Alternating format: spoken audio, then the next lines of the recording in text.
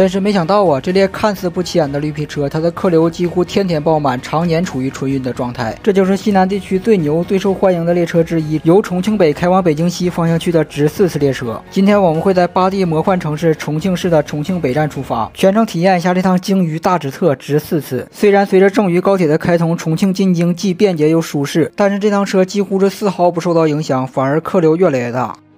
主要原因还是这趟车停站少、速度快、票价便宜、性价比高。重庆到北京的高铁二等座是九百左右，而咱们这趟车的硬卧下铺也才四百出头。高铁是八小时左右，需要坐一小天，咱们这趟车是十八个多小时。要你，你会选择哪个呢？这个车的下铺就不用寻思了，我买了好多天才买着一个上铺。这还有个北京大哥在重庆买了一桶土鸡蛋。随着列车缓缓在重庆北站驶出，接下来的直四次列车将会开启狂飙模式，一路风驰电掣的前进。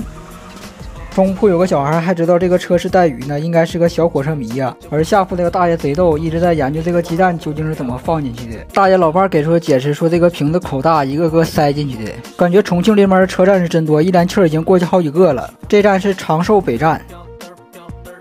对面有个大哥看旁边的车过去，说了一句贼逗，他说：“嘿，这孙子够快的。”就是这大哥，我只是简单复述了一下他的语气和音调，我是没学明白。现在列车正在跨长江。跨过长江后，紧接着我们来到了丰都，正在经过丰都站。来丰都旅游的人不少，白天应该是人山人海，到了晚上估计就没几个人敢溜达了吧。重庆也真够大的了，走这么长时间，经过这么多车站，还是在重庆。正在经过的是石柱县站，也是属于重庆地界。看样子这雾都已经开始起雾了。终于已经走出重庆了，我们现在已经进入湖北恩施土家苗族自治州的利川市。在利川站，我们看到有一趟车正在待毙，这个是重庆西到北京西的直九十六次列车。同时间段前面还有个成都东到北京西的直五十次。这三趟直特接下来将会你追我赶，几分钟的间隔共同进京。列车即将停靠恩施站，我看到直五零了，窗外这个就是咱们这个车刚停稳，直五零立马出站。接下来直四次列车会紧紧的跟在直五零后面。直五零出站是给直九十六到地方的，一会儿直九十六该进站了。好家伙，咱们这个车刚关车门，直九十六就进站了。然后直九十六刚停稳，咱们马上又发车。接下来这三趟车将会以这样的模式你追我赶，一直到北京。天色不早了，上去休息一会儿。等我下来的时候，再次看见火车跨长江，而即将停靠的城市就是湖北宜昌。到达宜昌东站，对面站台停的又是直五零。终于逮着这趟车了，这回我都下车了，直五零还没跑。现在这两大王牌直特板正的都在这停着呢。直五零现在已经离开宜昌东了，估计直九十六次列车马上就要进站了。哎，不对呀，直九十六已经进站了，隔一个站台呢。放大瞅了一下，果然是这家伙。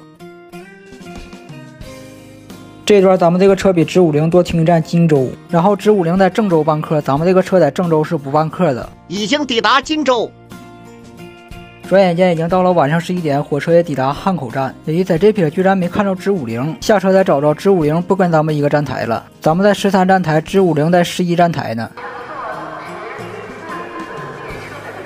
现在直九十六也进来了，是在十站台。中铺这个小朋友游戏打的挺溜啊，这车是真猛，一觉醒来已经过了石家庄。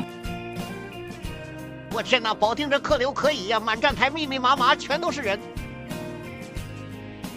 又逮着直五零了，原来是在这撇，刚才在那撇站台看了半天，这回还没等咱们停车，他又出站了。我天哪，卧铺车厢在保定下去几个人，没想到又补上来了。保定到北京这么近的距离，没想到买卧铺的人还挺多。刚才保定上来大姐说，高铁买不着票，硬座买不着票，除了卧铺啥车都没票。转眼间我们已经进入到北京市区，两千来公里的路程，经过了十八个多小时风驰电掣的前进，火车已经抵达北京西站，而旁边这趟车又是直五零。